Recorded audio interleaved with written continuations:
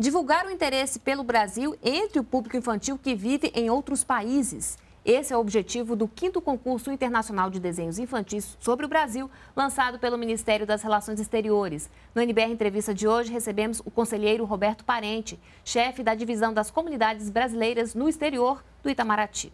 Olá, muito obrigada pela sua presença aqui no NBR Entrevista. Eu que agradeço, é sempre bom, é uma oportunidade para falar um pouco sobre as ações é, voltadas para os brasileiros que vivem no exterior. Quantos brasileiros moram fora hoje? Bom, o cálculo hoje é cerca de 2,8 milhões de brasileiros. É sempre difícil falar isso porque é, os brasileiros em muitos países eles não têm é, um status legalizado. Né? Muitos brasileiros é o que se chama de ilegal né, lá fora. Nós chamamos de indocumentados. Então, esses brasileiros não aparecem em censos.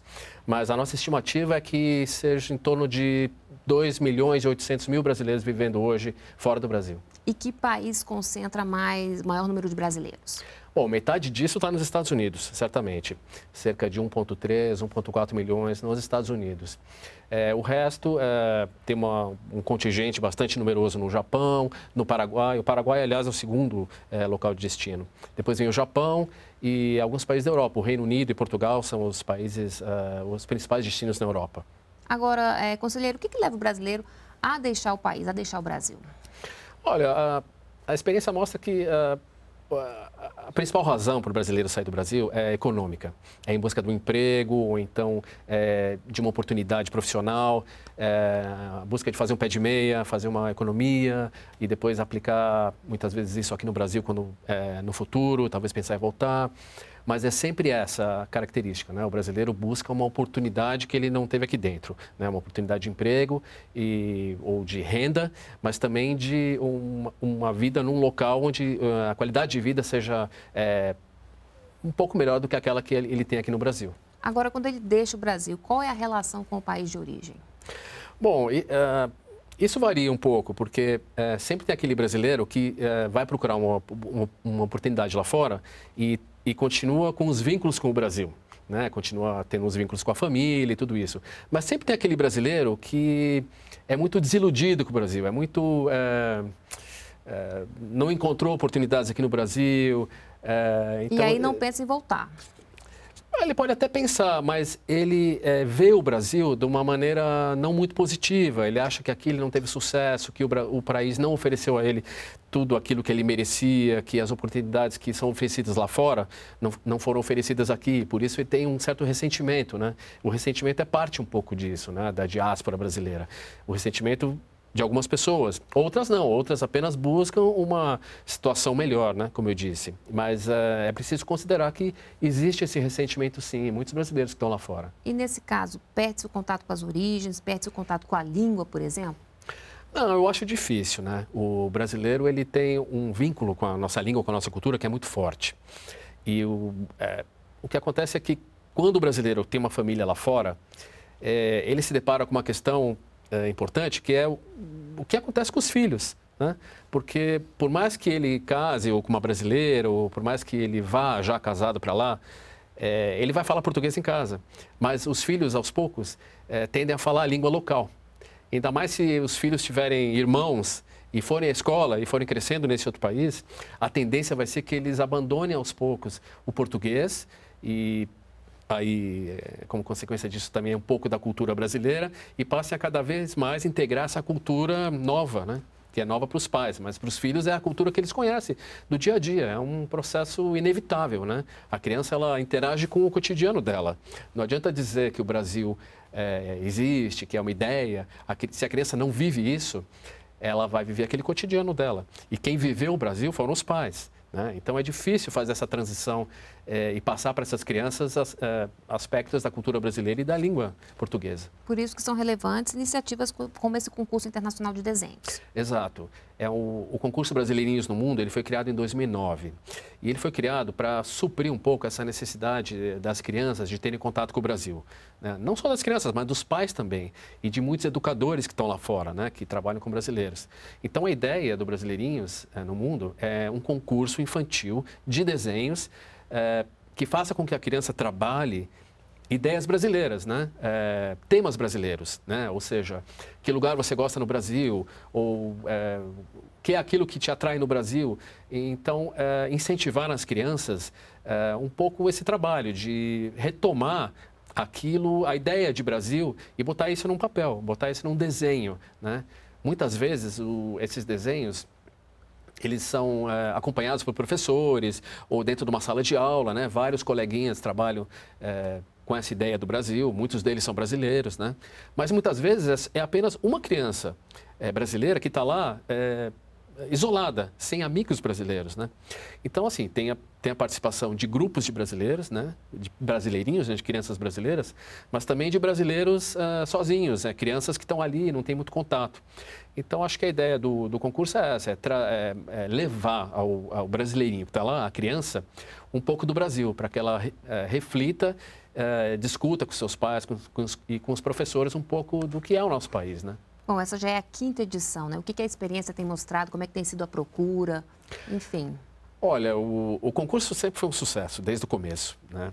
É, sempre que ele é, é, lançado, a cada ano, é, várias escolas se interessam, cada vez mais escolas têm adaptado o, o concurso para é, para os programas uh, de, de, cada ano, né, dependendo da quantidade de brasileiros. Por exemplo, na Alemanha tem muitos brasileiros que, que estudam na mesma escola, nos Estados Unidos também. Então, essas escolas uh, é, inserem o concurso, até brasileirinhos, dentro da programação da escola. No Japão também é importantíssimo, porque é, geralmente os filhos de brasileiros também estudam no mesmo local, eles têm muito contato. E pela própria distância, né, é, é interessante que eles discutam isso com professores e depois em casa também os pais. E que faixa etária pode participar? Bom, uh, o concurso tem, ele é feito para duas faixas etárias. Uma é de 6 a 8 e outra é de 9 a 11. Ou seja, são duas uh, faixas. Mas sempre com essa ideia assim de uh, da criança tentar retratar num desenho aquilo que ela pensa do Brasil, ou aquilo que ela ouviu, ou aquilo que ela pôde ouvir dos seus pais ou dos professores. É, inclusive o tema deste ano é uma história brasileira. Exato. É, é, todo ano esse tema muda, né? Mas sempre focado em questões brasileiras, né? Sempre assim, qual é o seu lugar no Brasil que você prefere? Ou, ou, ou da onde sua mãe veio? Onde, da onde seu pai veio? É, como é que é o, o, sítio do meu amigo? Coisas assim, né? Esse é, também é o, é o, tema desse ano. E eu já posso adiantar que é, tem sido um sucesso cada vez mais, né? Foram é, milhares de participantes do, no ano passado, nós jogamos mais de mil desenhos e acho que esse ano nós vamos chegar perto de dois mil desenhos. E esses desenhos têm que vir aqui para o Brasil. Exato, claro. A criança tem que fazer o desenho na escola, ou acompanhada dos pais, ou, ou mesmo ela sozinha, né? É, tem que enviar esse desenho para nós através de um consulado de uma embaixada e ao final desse processo nós recebemos todos os desenhos e é feito um, um grande evento no, no, Palácio de Itamaraty, com todos os desenhos. Nós chamamos educadores, professores de arte, críticos de arte, donos de galerias, é, é, universitários que participam de uma comissão julgadora. E ao final, nós selecionamos os desenhos vencedores, nas duas categorias. Bom, que outras iniciativas né, vocês desenvolvem justamente para aproximar né, o brasileiro que está fora do seu país de origem? Bom, a especificamente com relação às crianças, é, hoje, depois de várias décadas de, de, saída de brasileiros do país, né? o Brasil é, hoje é um país que exporta é, gente, nós já verificamos que ah, alguns processos já, já foram mais do que observados, né? já, é, já é possível tirar alguma conclusão disso. Por exemplo, ah, o afastamento das crianças é, da cultura brasileira e a inserção numa nova cultura, sendo que os pais são do Brasil, é, pode causar problemas. É, que tipo de problemas? Por exemplo, a invasão escolar. Né? Eu cito aqui o caso mais problemático que nós temos, que é o Japão. Porque. É, totalmente diferente. Né? Completamente né? diferente. O Japão, ao contrário de outros países, como países europeus ou os Estados Unidos, não é uma cultura tão imediata para nós. Né? É muito mais fácil uma adaptação na Europa ou nos Estados Unidos para um, um brasileiro, comum, normal, né? médio.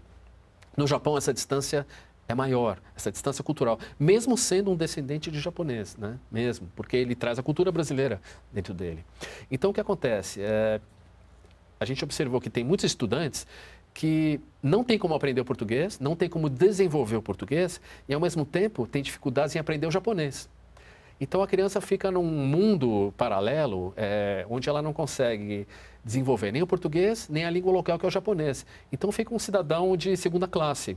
E isso causa problemas no futuro, é, como, por exemplo, a delinquência juvenil. No Japão, a participação de brasileiros na delinquência juvenil é incrivelmente maior do que a proporção de brasileiros na sociedade.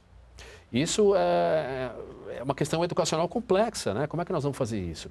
Nós tentamos muitas vezes é, homologar escolas brasileiras no Japão para que ensinassem português. Mas é muito difícil, porque eles estão inseridos numa cultura, na cultura diferente, que é a cultura japonesa. Não adianta estabelecer uma escola japonesa, é, brasileira no Japão, quando a criança vai sair, o mundo vai ser uma outra coisa ali em volta. Né? Então, são ações que buscam, no mínimo, tentar mostrar ou, ou, ou, deixar disponível para essas crianças e para suas famílias é, aspectos da cultura brasileira e da língua portuguesa, para que elas é, possam ter o maior contato possível, sempre que isso for possível. Né? Eu citei o caso do Japão, que é mais, uh, mais, mais extremo, sim. mas também o mesmo ocorre na Europa. Né? É, hoje já a, as gerações de brasileiros que foram para fora, para os Estados Unidos e para a Europa, já tiveram filhos. Né? Muitos desses filhos já passaram pelo, pelo período escolar, né? já, já se tem uma experiência de como é que foi isso. Né? Em alguns lugares com sucesso, em outros lugares nem tanto êxito assim. Mas a ideia é assim, é, hoje, por exemplo, nós temos um programa que se chama é, Leitura, um programa de leitura, leitura do português. O que, que é isso? É, são grupos de mães que se reúnem né, periodicamente, é, utilizam o material didático ou paradidático que nós enviamos né, aqui de, do MEC e, e eles se reúnem para que os filhos possam ter o contato com a língua portuguesa. Bom, o que, a experiência tem mostrado? Né? Quando você mantém um laço com o país de origem desde pequeno, essa ligação ela fica mais forte? Se uma pessoa lá nos seus 20 e poucos anos resolve fazer a vida lá fora, no Canadá, ou nos Estados Unidos ou na Europa, ela vai ter aquele vínculo com o Brasil muito mais forte, né? Mas uma criança, se ela foi muito cedo para fora, né? Ela vai se adaptar a um mundo novo, né? Ninguém pode esperar que uma criança é, acompanhe tudo o que acontece no Brasil e, e tenha uma formação é, assim que nós tivemos aqui no Brasil, né, ligada à cultura brasileira e tudo, se ela não está em contato diário aqui, né? Então, o que nós procuramos fazer no Itamaraty, na divisão das comunidades brasileiras, é levar um pouco é, da cultura e da língua portuguesa para essas crianças lá fora e algumas ações de, é, que, que façam com que essas pessoas se reúnam, com que professores é, transmitam um pouco isso para as crianças, para que os próprios pais tenham a capacidade de transmitir isso para suas crianças. Né? Nós é, mandamos material e estamos disponíveis sempre para patrocinar programas ou eventos em que essa, é, essa discussão da cultura brasileira, né, essa exposição das crianças à nossa cultura, seja sempre é, positiva. Conselheiro, tem até um site específico né, para esse pessoal que mora fora.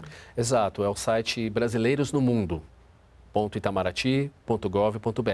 É o site onde você vai encontrar informações sobre é, o concurso Brasileirinhos no Mundo, é, sobre as inscrições, sobre o processo de participação é, nesse concurso.